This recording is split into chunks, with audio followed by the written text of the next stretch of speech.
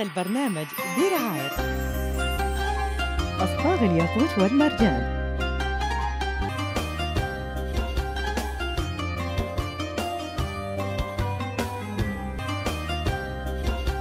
المجلس الاقتصادي العراقي.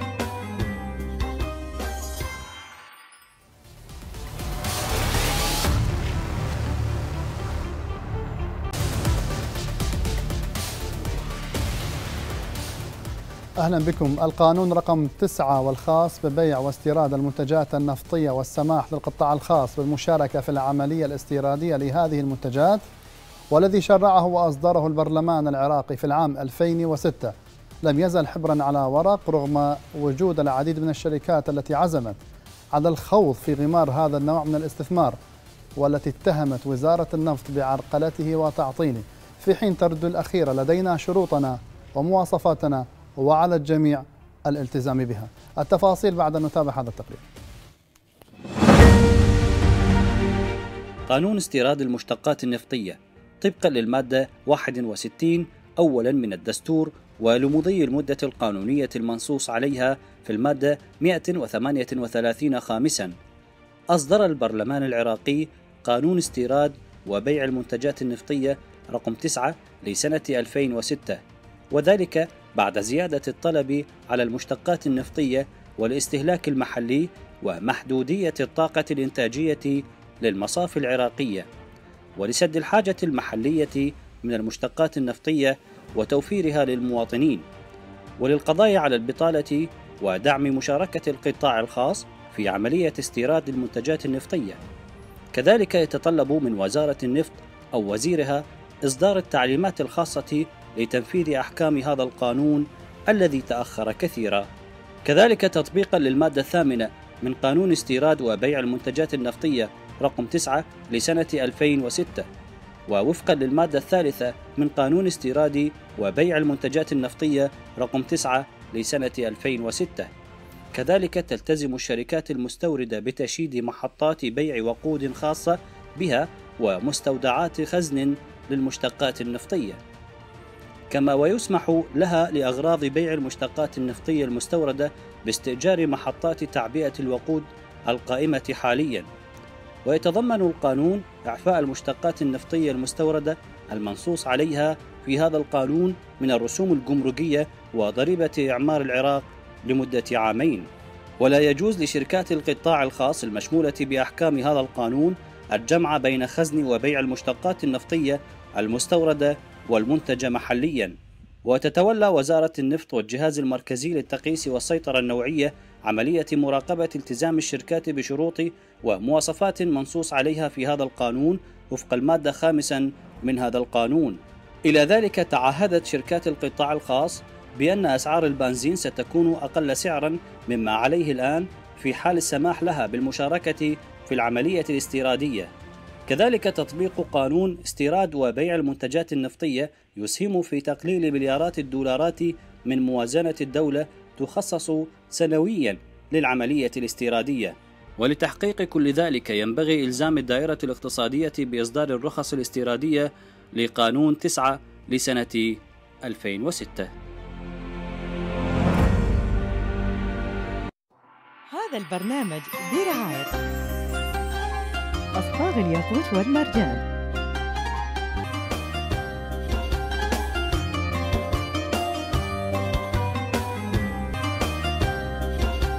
المجلس الاقتصادي العراقي.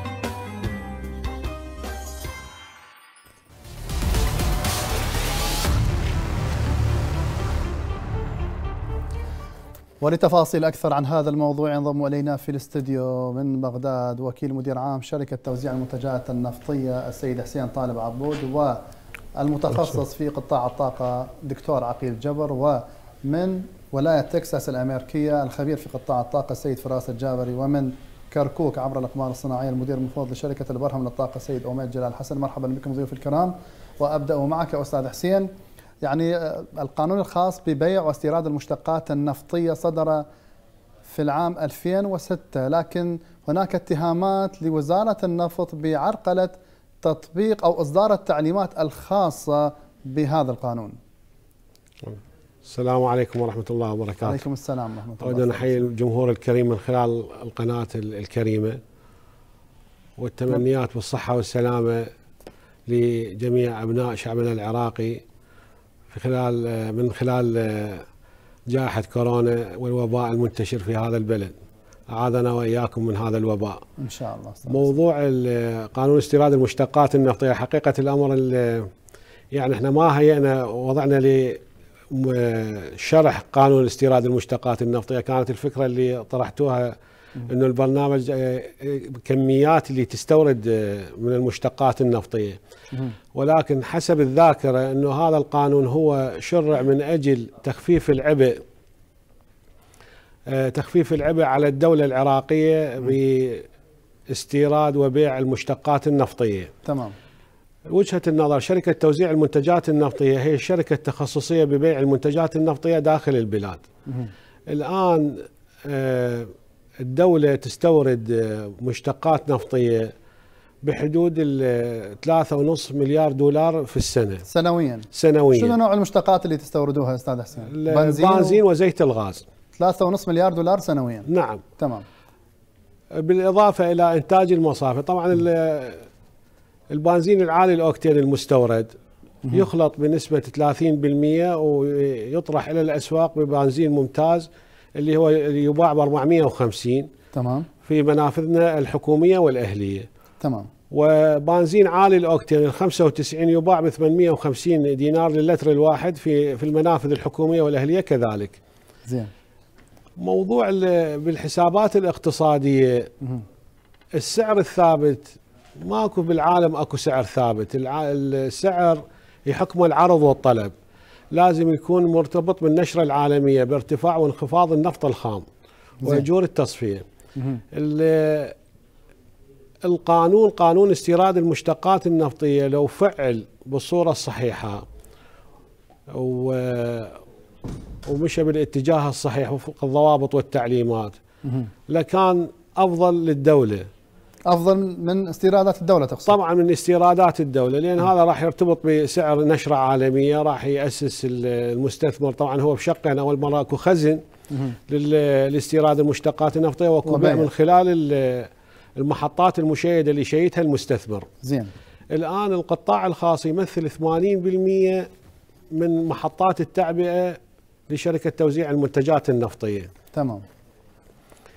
الدولة داعمة للقطاع الخاص من خلال تشييد المحطات. فاللي إحنا بحساباتنا إنه استيراد المشتقات بأكثر من نوع يكون أفضل لأن هو البيع والشراء تبع ذوق المستهلك. فمثلا المستهلك يريد على الاوكتين 95 مستهلك يريد 90 مستهلك يريد 85 حسب ال- الرغبة إليه. بالشراء. تمام. الآن إحنا كوزارة نفط الإنتاج المصافي اللي عندنا. بحدود التسع ملايين لتر اللي هو بالأوكتين التسعين تمام إضافة إلى أنه نستورد إحنا يوميا بمعدل بالذروة 10 ملايين لتر من البنزين العالي الأوكتين مهم. ولدينا مصافي استثمارية متعاقدين معها في الإقليم آه، يعني نعطيها نفط خام نسلمها نفط خام ونستلم من عندها منتجات نفطية وفق نسب التشغيل التجريبي. للجهات التخصصية. آه، تكرر بحدود ال 140 آه، ألف برميل بالذروه مالتها يعني إجمالي التصفية قطاع التصفية هو 650 ألف برميل. ال- المصافي أكثرها تنتج يعني النسبة العليا اللي تنتج تنتج منتوج النفثه بالإضافة إلى هذه الكمية 9000 آه، يوميا من البنزين العالي الأوكتين النفثه طبعا نسبة من عندها 30% تروح للخلط كما أسلفت لي آه، مع البنزين العالي الأوكتين. والنسبة الأخرى آه، تذهب إلى التصدير. تمام أستاذ حسين أنت حضرتك ذكرت نقطة جدا مهمة. قلت إنه لو كان باستطاعة القطاع الخاص العراقي أو لو تم تكليف القطاع الخاص العراقي باستيراد المشتقات النفطية. راح يكون أفضل بالنسبة للدولة العراقية. تمام؟ نعم. تمام. خلينا أسأل أستاذ أوميد جلال حسن المدير المفوض لشركة البرهم للطاقة من كركوك وأرحب بهم مرة أخرى. مرحبا أستاذ جلال.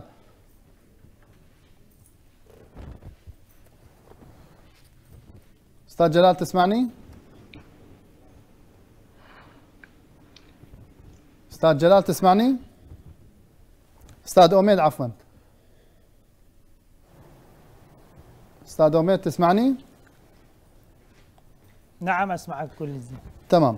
أستاذ أوميد حضرتك يعني شركة البرهام إحدى الشركات التي آه تعمل بالتعاون مع وزارة النفط أو حصلت يعني أسمع رخصة استيرادية من أجل استيراد بعض المنتجات النفطية لكن لحد اللحظه لم تستورد أي شيء. ما هي الأسباب التي أدت إلى تعطيل إحدى شركات القطاع الخاص إلى منع أو منعها من استيراد بعض المنتجات النفطية. اولا مساء الخير آه، مساء على الجميع. ورمضان كريم. عليك وعلى ضيوفك الأعزاء الكرام أستاذ حسين وأستاذ عقيل. آه، بس تعيد السؤال لأن تأخر الصوت. شركتكم شركة البرهم إحدى الشركات التي من المفترض أن تقوم بعمليات استيراد بعض المنتجات النفطية من خارج العراق لكن لحد اللحظة هذه الشركة لم توفق. ما هي الأسباب التي أدت إلى توقف هذه الشركة عن الاستيراد؟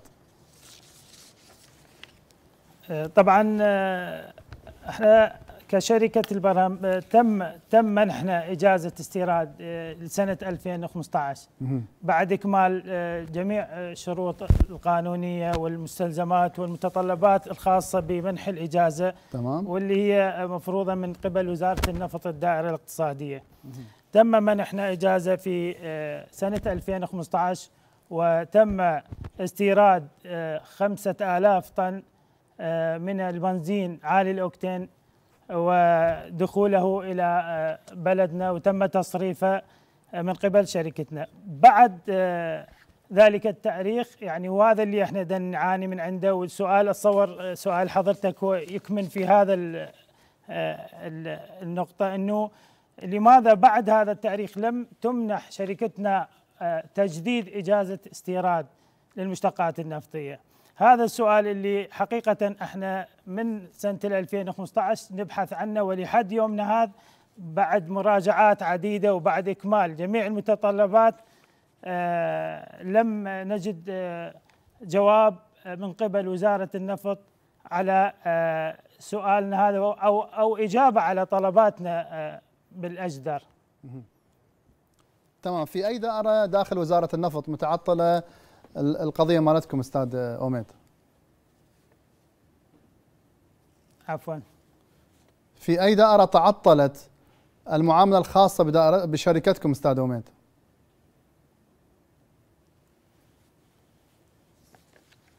آه، آسف الصوت مو واضح يعني بس تعيد لي السؤال. في أي دائرة تم تعطيل عملية استيراد الشركة الخاصة بكم للمنتجات النفطية من خارج العراق؟ داخل وزارة نعم. النفط. نعم آه، الدائرة الاقتصادية هي آه، حسب القانون رقم 9 لسنة 2006 هي وزارة النفط تتولى وزارة النفط تنفيذ هذا القانون ووزارة النفط بالتالي آه، أناطت الأمر إلى الدائرة الاقتصادية. الدائرة الاقتصادية هي الجهة أو آه، الدائرة اللي آه، منح الإجازة آه، تم تعطيله أو توقفه عند الدائرة المذكورة. تمام. أستاذ دكتور عقيل جبر مرحبا بك مرة أخرى وأسأل حضرتك. يعني هذا القانون صدر بالعام 2006 ووزارة النفط تشجع على هذا القانون من حيث عملية التطبيق والرغبة في تطبيق هذا القانون من أجل أن يعني آه، توفر للدولة العراقية ربما موازنات مالية ضخمة تصرف في استيراد المنتجات النفطية لكن لحد اللحظة لم توفق وزارة النفط ولا القطاع الخاص العراقي بتنفيذ هذا القانون بالشكل أو بالصورة التي تليق بالعملية الاستيرادية والتي تخدم المواطن العراقي. ابتداء السلام عليكم ورحمة الله وبركاته. أخي العزيز الأستاذ قيس المرشدي آه، شكرا جزيلا على دعوتكم الكريمة. تحياتنا أستاذنا العزيز الضيف والأستاذ عبر الإنترنت. آه، هناك مخاطبة حسب ما اطلعت في 1 11 2006 من الشركة المنتجات النفطية. تمام. آه، رقمها آه، ثلاثة خمسة آه، صفر اثنان اثنان في واحد 11 2006 يمنع القطاع الخاص. موجه كتاب عندي موجود رسمي وفق الكتب الموجودة من وزارة النفط وليس لغرض الإعلام لكن هذا كتاب رسمي موجود يمنع القطاع الخاص من استيراد المنتجات النفطية. زين. ويؤكد بالفقرة الثانية أن الشركة العامة للمنتجات النفطية ملتزمة بتأمين الحصص النفطية إلى المعامل وما إلى ذلك من شرح. نعود على قانون آه، تسعة للصادر سنة, سنة 2006 تمام. وكذلك التعليمات رقم 1 ل 2013 زين. بينت بشكل حقيقي ما هي الشروط والضوابط وبالمناسبة ليس هو متاح فقط للقطاع الخاص أيضا ضمن القانون متاح للأجنبي. زين. للقطاع الخاص والأجنبي. وفق شروط معتادة ومن أبرز هذه الشروط بناء المستودعات. المستودعات وكذلك آه، التعبئة. الخزن ومحطات التعبئة وأن يكون آه، خمسة مليارات رأس المال لا يقل عن خمسة مليارات وهناك لائحة أعتقد جداول بمطابقة المواصفات أن تلتزم بها القطاع الخاص. زين. آه، بصراحة آه، نجد واقع الحال من خلال متابعاتنا المالية والاقتصادية أن شركة سومو هي محتكرة للاستيراد وبيع المنتجات النفطية وهذا يعود إلى السياسة النفطية لوزارة النفط. أما الآن إذا أردنا نخوض في موضوع كيف نعمل أو نستطيع أن نقرب الفجوات بين القطاع الخاص ووزارة النفط؟ وفقا للقانون اللي صدر طبعا. وفق القانون اللي صدر وفق المعطيات وفق الأزمة المالية وكيف أن القطاع الخاص في مصر وفي بلدان أخرى هو يقود آه، السياسة النفطية والسياسة الاقتصادية في تلك البلدان. مهم. لابد من اعتماد هذه الاستراتيجيات والسياسات والقناعة التامة أن القطاع الخاص يجب أن يدخل شريك حقيقي زين. وليس فقط قوانين وتعليمات آه، مع الأسف بصراحة حتى لا نخلط كثيرا بالحديث والنقاش إحنا العقلية اللي موجودة بالمؤسسات هي عقلية وفق المؤسسات المبنية عقلية اشتراكية نوعا ما لكن النظريات والقوانين هي للانفتاح واقتصاد السوق هنا يجب أن نعمل مزيج أو آه، يجب أن يكون دور للمطورين مطوري النفط وكذلك الخبراء. يجب أن يقربوا هذه الفجوة لغرض إنتاج نماذج آه، تسويقية ونماذج اقتصادية تمام خلينا نستمع من أهل جديدة. الاختصاص بالتحديد آه، عبر ضيفنا من ولاية تكساس الأمريكية السيد فراس الجابري فراس الجابري. مرحبا بك أستاذ فراس. يعني ما هي أبرز المشكلات التي تعيق تطبيق قانون 9 لسنة 2006 باعتبارك قريب من هذا المجال. نعم. ألو.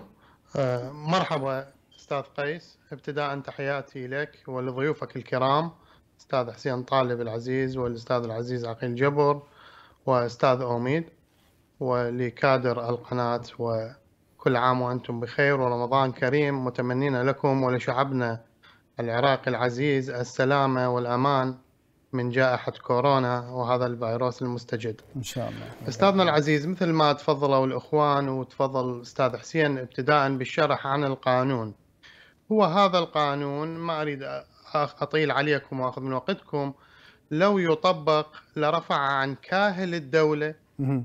عبئا كبيرا ورفع عن كاهل المواطن عبئا كبيرا ووفر خدمات وإيصال منتجات آه، بنوعية ممتازة إلى المواطن. نريد تفاصيل. الآن- شلون أستاذ آه، إيه. فراس؟ شلون؟ أستاذي العزيز إحنا ابتداء الآن نتحدث عن آه،. وقود البنزين. وقود بنزين عالي الأوكتين اللي هو 95 أوكتين والوقود الذي يسمى مدعوم.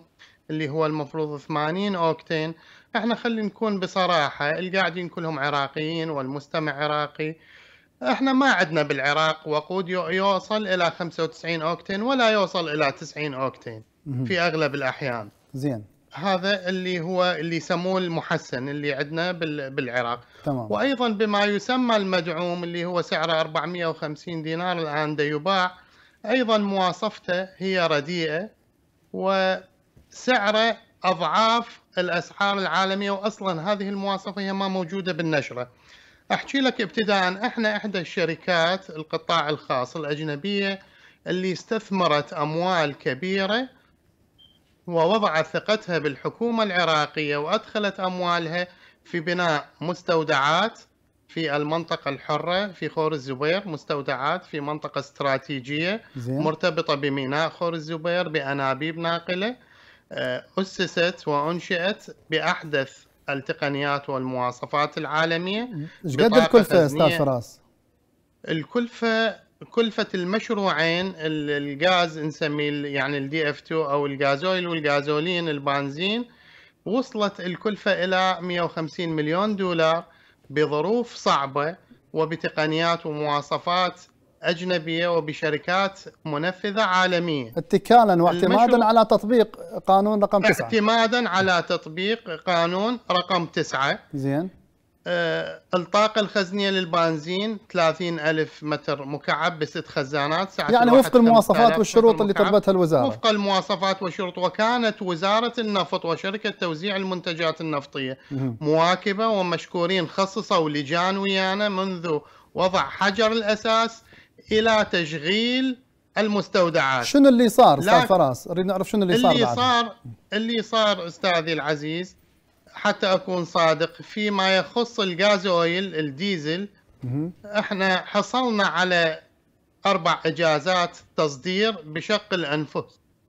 كل إجازة 40 ألف طن محددة بفترة زمنية استطعنا أن نبيعها فقط إلى الشركات الأجنبية بالعراق شركات التراخيص أو الملحقيات الدبلوماسية والبعثات بالعراق. تمام. أما بالنسبة للبنزين على تعاقب الوزارات حققنا اجتماعات برزنتيشن مع السادة الوزراء وال- والمدراء العامين في الوزارة والجهات المختصة في الوزارة والكل كان داعم. لكن. عند التنفيذ جوبهنا بعدم التنفيذ من قبل حتى من؟ وصل من قبل من وصل أستاذ الحال فراس؟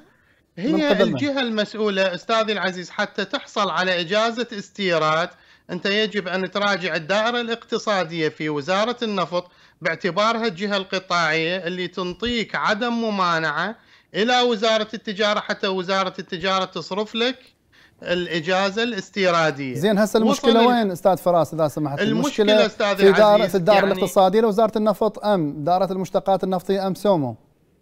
لا لا المشكلة كلها في الدائرة الاقتصادية. الدائرة الدائرة الاقتصادية. الاقتصادية. كنت أتمنى أن يكونون موجودين. وصل الحال أستاذي العزيز استوردنا 8000 متر مكعب آه، تقدر 9 مليون لتر. لتشغيل المستودع بعد أن كملت الشركة الأجنبية اللي بنت لازم يسوي كوميشن تشغيل قبل زين. أن نكمل لهم دفعاتهم ويسلمون. فاستلمنا قبل ثلاث سنوات هذه الكمية وصرفنا عليها أموال كانت أسعار النفط عالية. زين. قدمنا أكثر من أربع كتب إلى الدائرة الاقتصادية وشرحنا لهم موقف يابا وصل بينا الحال يابا طيب خلونا نبيع بس هذه الكمية اللي محجوزة بالخزانات وهذه الشكل خطر وهذا المشروع بالنهاية راح يرجع للدولة إلى وزارة المالية. شنو كان عذرهم أستاذ فراس قبل ما ننتقل للاستاذ حسين شنو كان عذرهم الدائرة الاقتصادية؟ والله أستاذنا العزيز العذر أنه جهزونا بالأوراق جهزونا بكل المتطلبات جهزنا كل المتطلبات النتيجة ما حصلنا يعني تمام. ما أستاذ ماكو حسين عذر ماكو عذر. أستاذ حسين شنو يعني برأيك شنو الأسباب التي أدت إلى تعطيل هذه الشركة أو شركة البرهم وغيرها من الشركات التي ترغب بإنجاح هذا القانون وتوفير وفره مالية للعراق يعني تستورد أو يستورد من خلال العراق سنويا ب 3.5 مليار دولار لمشتقات نفطية.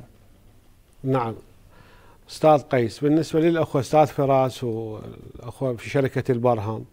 طبعا هم من الشركات المعروفة والعريقة وذات التعاملات ال- النظيفة في مع وزارة النفط وخصوصا مع شركة توزيع المنتجات النفطية. زين الأخوة ما عندهم كل مهم. بعملهم، أنا جيد. أتكلم بصراحة. تمام انشأوا مشاريعهم ضمن ما رسم لهم القانون، قانون استيراد المشتقات النفطية. تمام الوضع اللي صار ما بعد ال 2006 الحقيقة هو انولد القانون فيراد حتى لو إنه يراد له تعديلات التعديلات تكون بالتنفيذ بتنفيذ القانون. ما ممكن أنا أو ينولد قانون أو مشروع متكامل 100% زين. أكو ملاحظات أكو انحراف بالمشروع بال- بالقانون. بالتنفيذ يتم تعديله ويصحح المسار. زين. استيراد المشتقات النفطية من الشرع بال 2006 الحقيقة آه، صارت اكو حالات هناك. أنا ما اتكلم على المشروعين مشروعي الاخوة. اصبحت هناك كابينات بال على اجازات استيراد مشتقات نفطية. كابينات تبيع منتجات نفطية بالشارع نقول هذا منتجات مستوردة. زين. والحقيقة هي مو منتجات مستوردة هي آه، تؤخذ من محطات بصورة غير شرعية. يعني محطات الوقود ال- كان غياب الدور الرق... ضعف الدور الرقابي الوضع الأمني كان متردي بال 2006 و2007 لحد ال 2010 هذا إيش ولد؟ أخذ وزارة النفط أخذت على عاتقها إنه هي اللي تضمن حق المواطن ببيع المنتجات النفطية. فهذا ال- النشاط وين حصل محصور محصور. هو نشاط شركة توزيع المنتجات النفطية. تمام. المنتج هو ملك الدولة. نقل الملكية إلى المواطن يصير بواسطة المحطة الحكومية أو الأهلية. زين. لذلك وكيل المحطة ياخذ عمولة. هذا أثر على آه، مشاريع ال- الأخوة وباقي ال- المستثمرين اللي. رغبوا أنه ينشؤون على قانون استيراد المشتقات النفطية. زين. اليوم إحنا أكو عندنا قطاع حكومي وعندنا قطاع خاص. زين. لا بد يعني ماكو آه، وسيلة إلا لدعم القطاع الخاص في هذه الظروف. اللي يمر بها البلد الآن من أزمة اقتصادية لازم نكون بيئة جاذبة للاستثمارات، لازم نكون بيئة جاذبة لرأس المال، رأس المال يراد له يراد له يعني أمان لكي يمارس نشا- نشاطه في هذا البلد. من خلال تطبيق القانون أكو آه، الوزارة جمدت القانون الحقيقة. يعني أنا هسه ما اريد ادخل حاليا. مجمد القانون؟ أي مجمد القانون. هم من أي سنة تم تجميده أستاذ يعني؟ هو ما ما تنفذ ما ما ظهر للنور. يعني لأن وضعيته الأخوة في شركة البرهم أعتقد انشأوا ست محطات في محافظة كركوك بالإضافة إلى مستودع البرهم. اعتقد بقيمة 20 مليون دولار أعتقد اي والأخوة في الأستاذ فراس هم رصيف أعتقد و ومثل ما تفضل خزانات لخزن المشتقات النفطية. أستاذ حسين حقهم يعني يحترق قلبهم لأن واحد شركة صارفه 150 مليون دولار وأخرى صارفه أكثر من 20 مليون دولار. يقول لك إحنا صرفنا وتعبنا ودراسات وروحة وجيه وخطط وبالتالي كله راح بلاش. إحنا ما استفادينا شيء من الوزارة؟ أستاذ قيس أنا أتكلم من خلال هذا المنبر. أقول حان الوقت مهم. لتفعيل قانون استيراد المشتقات النفطية. زين من المسؤول داخل الوزارة عن تعطيل تنفيذ هالقانون أستاذ ال- حسين الحقيقة ال- الوزارة يعني جادة بإعادة النظر وترتيب الأمر وتفعيل القانون ووضع الضوابط والتعليمات اللي من شأنها إنه تخلي القانون يسري ويتنفذ في هذا البلد بسلاسة. تمام. بضمان إنه مثلا المشتقات النفطية من تدخل من يدخل المورد للمشتقات النفطية. هذا آه، العامل الثالث الوسطي اللي يكون بين القطاع الحكومي والقطاع الخاص. راح يجي القطاع الخاص يميل بدل ما إنه مثلا المواطن بدل ما ياخذ من من الدولة البنزين ب 450 هو بمواصفاته ما يعني ما يخدم ال- المركبة مالته يبحث عن بدائل إذا ما كانت البدائل موجودة فيضطر إنه ياخذ من الدولة البنزين وهو اللي يشكل خسارة وعبء على الدولة. فلذلك إحنا نتمنى أن يتفعل القانون وإن شاء الله لأن أنا من خلال الاجتماعات في مع قيادة القطاع في وزارة النفط إنه الوزارة جادة بإعادة دراسة شو القانون وقت كان آخر اجتماع أستاذ حسين؟ يعني الحقيقة كان آخر توجيه للأستاذ ثامر الغضبان قبل أن يغادر الوزارة إنه بتفعيل هذا القانون وال- والعمل على آه، الخصخصة ودعم القطاع الخاص باستيراد المشتقات النفطية. تمام. أستاذ أوميد كم مستودع آه، بنت شركتكم وكم محطة تعبئه أيضا بنت؟ وش قد كانت الكلفة الإجمالية لهذه المشاريع؟ نعم. آه، بس أحب أنوه على نقطة ذكرها الأستاذ حسين. آه، أنه طبعا. عدم تنفيذ هذا القانون وتجميده. طبعا ماكو أي جهة رسمية تقدر تجمد التشريع إلا من أخلق التشريع وأصدره اللي هو مجلس النواب.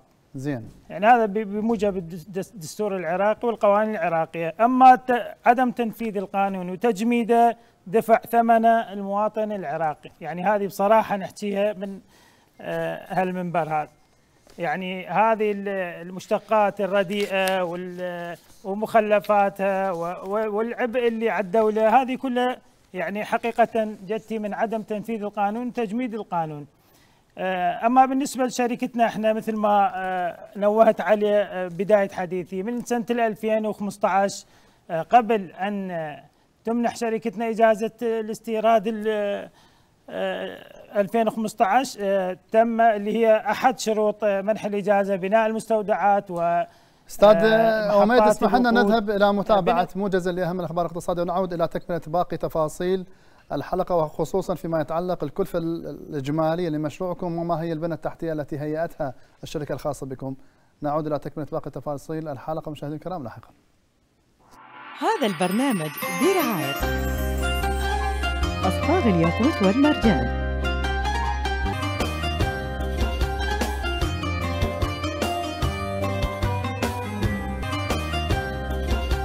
المجلس الاقتصادي العراقي.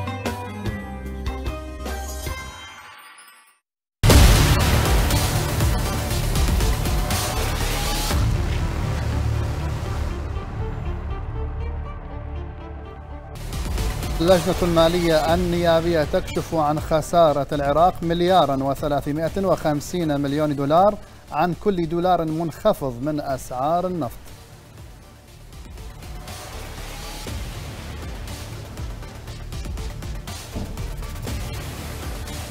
التخطيط تعلن أن نسبة الفقر في العراق بسبب جائحة كورونا وصلت إلى 40% واصفة إياها بالرقم الطارئ.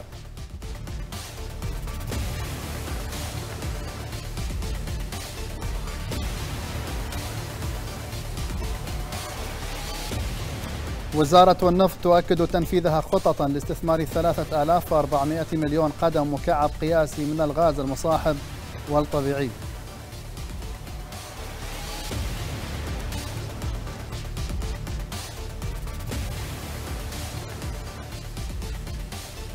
تعافي أسعار النفط في الأسواق العالمية للمرة الأولى منذ شهرين بعد أن تجاوز سعر برميل النفط الواحد من خام برنت عتبة ال 35 دولار.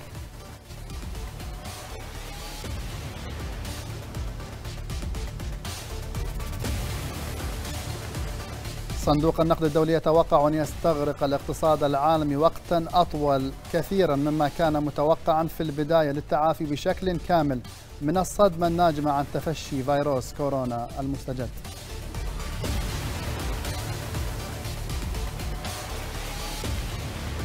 وأخيرا تراجع الجنيه المصري لأدنى مستوى مقابل الدولار منذ أوائل شباط ليتم تداوله عند المستوى المنخفض البالغ 15.83 للدولار.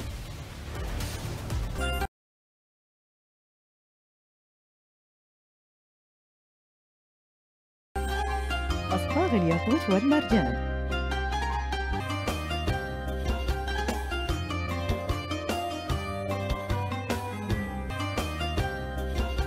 المجلس الاقتصادي العراقي.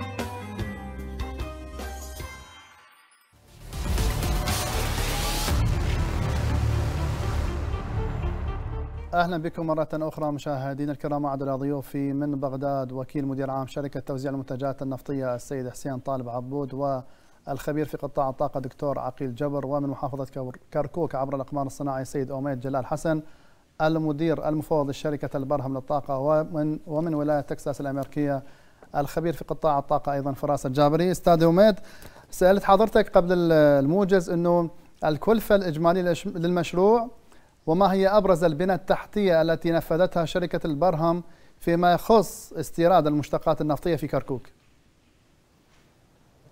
نعم آه، آه، طبعا مثل ما آه، نوهت إنه ن- تمتلك شركة البرهم مستودع بطاقة 30 ألف متر مكعب وهو بني أو أسس وأنشئ وفق الشروط والضوابط لوزارة النفط ووفق المواصفات العالمية وهو جاهز آه، لخزن المشتقات النفطية منذ عام 2015 كما آه، جاء في كتاب وزارة النفط الدائرة الفنية واللجان الكشف اللي أجريت وعاينت المشروع. كما تمتلك شركة البرهم محطة تعبئة وقود نموذجية أيضا أسست على شروط وضوابط نفس القانون رقم 9 2006 آه، وهي متآلفة أيضا شركتنا متآلفة مع آه، محطات استثمارية آه، يعني تقريبا خمسة أربعة إلى خمس محطات في كركوك. ونوه على نقطة أخرى يعني حقيقة مشروعنا الاستثماري يعني يحتوي على 100 موظف آه، منذ 2000 إيش قد كانت الكلفة الإجمالية أستاذ عميد الكلفة الإجمالية للمشروع إيش قد؟ رواتبهم وأجورهم إلى يومنا هذا.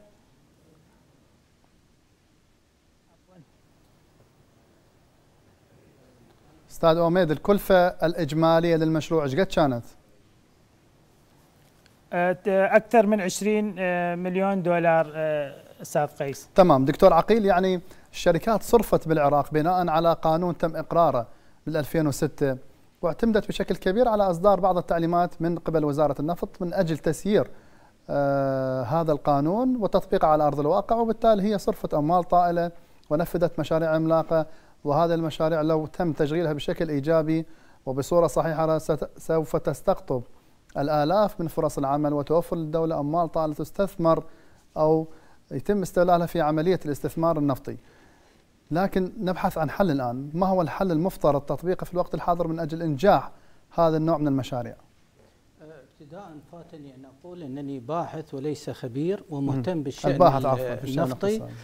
آه نستدرك آه المبالغ والجهود المبذولة من القطاع الخاص والدعم الواضح من الحكومة على تعاقبها يحتاج إلى تجسيد واقعي من الإدارات التنفيذية والإدارة الاقتصادية الماسكة بالملف الاقتصادي. زين. أزاء هذا المشكل والأستاذ السيد المدير العام آه، ذكر بأريحية أن القانون قانون تسعة مجمد بالصورة اللي وصفها.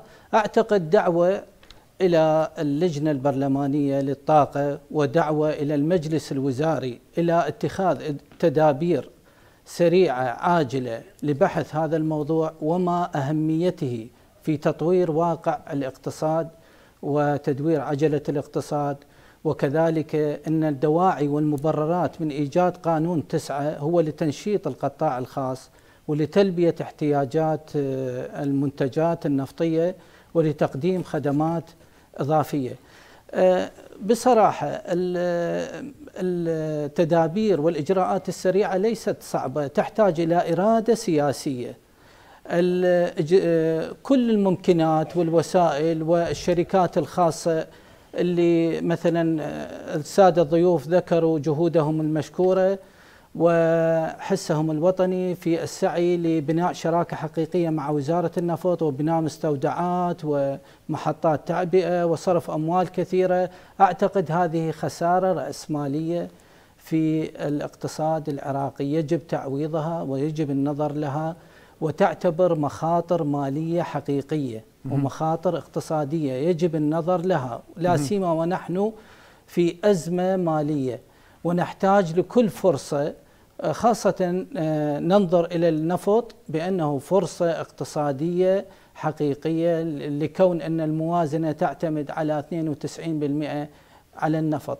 لماذا لا نفسح المجال إلى القطاع الخاص؟ أكيد آه، تعقيدات والعقلية الإدارية الصلبة التي تمتاز بها الإدارة آه، بصراحة بالضبط يسمح لي الأستاذ في وزارة النفط وجدنا كثير من الحالات آه، تظهر بعد انتهاء الحكومة السابقة وبداية الحكومة الحالية نحتاج إلى إعادة تقييم وإدخال وزارة التخطيط لقيادة ملف آه، تقييم وزارة النفط في المجلس الوزاري للاقتصاد لإعادة تفعيل دكتور عقيل من. يتحمل مسؤولية تأخير تطبيق هذا القانون؟ آه، بصراحة وزارة النفط ويجب تشكيل لجنة تحقيقية عذرا أستاذ العزيز وفق متبنياتنا الإدارية لجنة عاجلة من أعلى سلطة لكون إن النفط والطاقة هي المورد الرئيسي للموازنة وللشعب العراقي. تمام أستاذ نعم. فراس يعني كيف السبيل من أجل الخروج من هذه الأزمة بالوقت الحاضر؟ شنو اللي تردوه من قبل وزارة النفط أو من قبل مجلس الوزراء؟ شنو اللي تحتاجون من أجل تطبيق هذا القانون بصورة صحيحة؟ وبالتالي العمل أستاذ؟ بصورة مهنية؟ نعم. أستاذي العزيز بعد أن طرحه الإخوان ومشكورا أستاذ حسين طالب على طرحه ال- الفاعل والجاد لدعم هذا الموضوع بالح- بالحقيقة يشجعنا ويجدد روح الأمل بهذه الشركات. مثل ما ذكرت لك ابتداء شركتنا شركة SKA Energy استثمرت 150 مليون دولار على مشروع عمره 15 سنة انتهت من عنده تسع سنوات ولحد الآن لم ير... لم يرى النور. حتى أبين للمشاهد الكريم السادة اللي معانا الضيوف الإخوان هم اختصاصيين بس قد المشاهد الكريم يصير عنده لبس بالموضوع يتوقع أنه هذه الشركات جاية فقط للمنفعة أو تستثمر على حساب المواطن أو البلد. لا بالعكس هو أكيد الشركة تريد نفعها لكن بالمقابل المواطن راح يوصل له وقود بنقاوة عالية بسعر اوطى ال- ال- الدولة الآن وخصوصا في هذه الظروف إحنا في أزمة ذكرها الأستاذ الكريم أستاذ عقيل ذكر أنه إحنا الآن في أزمة بعد انهيار أسعار النفط والبلد محتاج إلى توفير الدولار الواحد أو دينار الواحد لتغطية رواتب أو مستلزمات البلد. لو كان هذا القانون مطبق والمستثمر عراقي أو أجنبي داخل ورافع عن كاهل الدولة هاي للثلاثة مليار بنزين 5 مليار ديزل ضيف لها ديزل للكهرباء غيره هاي شايلها عن كاهل الدولة ومخفف عن المواطن. كان الدولة صار عندها مجال وبحبوحة في في هذا في خصوصا في هذه الظروف. وأيضا هذه خطوة هي أولى أستاذي العزيز. الخطوة الأولى اليوم هذه الشركات والقطاع الخاص يستورد يطور محطات تشتغل محطات تشتغل يد عاملة. الخطوة الثانية الآن عندنا مصافي معروضة للاستثمار ما عليها إقبال. ليش؟ لأنه المستثمر الأجنبي ورأس المال كلكم تعرفون هو جبان. يعني شاف تجربتنا شركة اس كي انرجي شاف تجربة البرهم غيره يقول لك أنا أجي شلون هاي الشركة صارت تسع سنوات بالعراق. فهنا المستثمر راح تكون بيئة من طاردة. يشوف عف- إي، آه، هو بالفعل بيئة طاردة جدا وراح أذكر لك فقرة أخرى بهذا الموضوع. تفضل. من يجي المستثمر الخطوة الأخرى راح يستثمر مصفى حتى يشغل محطاته ليش يستورد؟ بالنتيجة العراق راح يبيع النفط الخام داخل البلد وبالعملة الصعبة. وراح يوفر البريميوم اللي هو النقل البحري وغيره. هاي كلها راح توفر راح تكون في خزينة الدولة. زين. استاذي العزيز وصلت الحالة. أكو قانون رقم 45 إذا ما خانتني الذاكرة. هو إعفاء المشتقات النفطية المستوردة من قبل القطاع الخاص والعام من الرسوم. من الرسوم الجمركية وضريبة إعفاء العراق. هذا سنويا الدائرة الاقتصادية ترفع مقترح إلى قيادة القطاع النفطي ويرفع بدورة إلى مجلس الوزراء ويجدد القانون. من صارت أكو نافذة بسيطة وبصيص امل فتحوا اللي إحنا أخذناها على الديزل. هذا الك- كتب إلى مجلس الوزراء بعدم تجديد هذا القانون. هذه الرسومات. بع- هذه الرسومات بعدم تجديدها هذه حتى اكون هذه الاعفاءات معك. تقصد يعني. هذه هذه الاعفاءات هذه كانت مقصودة. بالنتيجه أنا أنطيك إجازة لكن أنت غير معفى. حتى أنت ما راح يصرف لك تقدر تبيعها بالسوق ال- بالسوق العراقية. وبالنتيجة دا تعاني منها أيضا شركة تسويق النفط. كل شهرين ثلاثة إحنا عندنا استثمار آخر مع آه، شركة خطوط أنابيب النفط إدارة الأرصفة 2 3 4 في ميناء خور الزبير وتطويره. دا نشوف البواخر دا تجي كل فترة الجمارك يوقفون البواخر اللي جاية محملة بالغازويل والغازولين إلى شركة تسويق النفط إلى الحكومة العراقية بحجة تمام أستاذ فراس. تمام أستاذ فراس. التفاصيل في هذا الموضوع بالتحديد طبعا كثيرة وطويلة. وإن شاء الله راح نخصص حلقات قادمة فيما يخص هذا الموضوع بالتحديد. وبحضور إن شاء الله أستاذ حسين نتابع الحلقة بعد هذا الفاصل. مشاهدينا الكرام. هذا البرنامج برعاية أصباغ الياقوت والمرجان.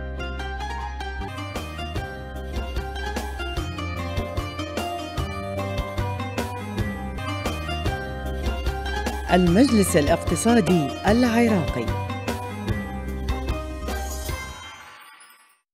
أهلا بكم مرة أخرى مشاهدينا الكرام. أستاذ حسين وفق المعطيات الحالية والمشاكل اللي ذكرها آه، أستاذ فراس أو اللي ذكرها أستاذ أوميد ما أعتقد راح يصير في المستقبل القريب أمل في تنشيط القطاع الخاص العراقي من أجل دخوله في العملية العمليات الاستيرادية للمشتقات النفطية من خارج العراق. العفو أستاذ قيس إحنا خل يعني نبدأ بها مرحلة مرحلة. اولا المطلوب ثورة على الفكر الاشتراكي بالبلد. زين. الدولة أكبر من أن تدير محطة وقود. يعني أنا بوجهة نظري.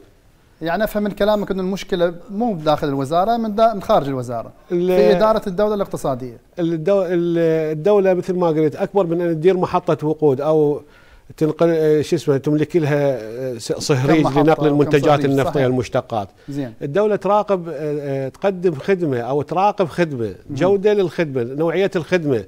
اللي تقدمها للمواطن مم. فأنا أعتقد هذه المواضيع تترك إلى القطاع الخاص ولا المستثمر أفضل مما الدولة تبتلش بها الدولة ترسم السياسات العامة ما تدخل بتفاصيل وجزئياتها الدعم للمشتقات النفطية بوجهة نظري يكون للفئات المستفيدة مثلا سائق سائق التاكسي أو صاحب سيارة الحمل. زين أستاذ حسين إحنا ما عندنا وقت هواي بس أريد أسمع من كلامك إنه أو عفوا أريد أسمع من حضرتك إنه إحنا بحاجة إلى تفعيل هذا القانون. نعم. ووزارة النفط أثبتت تقصيرها من خلال الحوار مع ضيوف مع حضرتك. اكو تقصير بالموضوع. إذا سمحت الوقت هم يداهمنا وزارة النفط ما قصرت يعني ما أثبتت تقصير وإنما الوضع اللي السائد يعني عدم ضمان وسلامة إيصال المنتج للمواطن التهريب اللي موجود بين حين وآخر من المحطات الأهلية اللي موجودة داخل البلد واللي هسه طبعا انحسر انحسار نهائي. يعني الوضع هسه أنا أشوفه أفضل من 2006 و2007 فأعتقد الآن يعني الوقت ملائم ومآتي إنه إحنا نفعل قانون استيراد أهم شيء الوزارة عندها توجه لهذا الشيء أستاذ والوزارة عندها توجه جادة بهذا الموضوع بالإضافة للاخوه في شركة البرهم الوزارة طبعا منحت لهم رخصة بوحدة وحدة الهدرجه في مصفى كركوك اللي راح ينتج البنزين العالي الاوكتين بالإضافة إلى مصفى السماوه كذلك هناك مصفى استثماري ينحال في كركوك. المصافي الاستثمارية في آه، الإقليم. الدولة مادة فاتحة الأبواب للقطاع الخاص ولكن آه، على قولة المثل الدارج العافية بالتدارج. تمام. وكيل مدير عام شركة توزيع المنتجات النفطية حسين علي طالب نشكر حضورك معنا في حلقة اليوم من برنامج دينار. كما لا يفوتنا أن نشكر أيضا المتخصص في قطاع الطاقة دكتور عقيل جبر. ومن ولاية تكساس الأمريكية عبر سكايب فراس الجابري الخبير في قطاع الطاقة والمدير المفوض لشركة البرهم للطاقة من كركوك عبر الأقمار الصناعي أوميد جلال حسن. مشاهدينا الكرام وصلنا وياكم للختام نلتقيكم في حلقة أخرى من برنامج دينار. دمتم في أمان الله. هذا البرنامج برعاية أصباغ الياقوت والمرجان.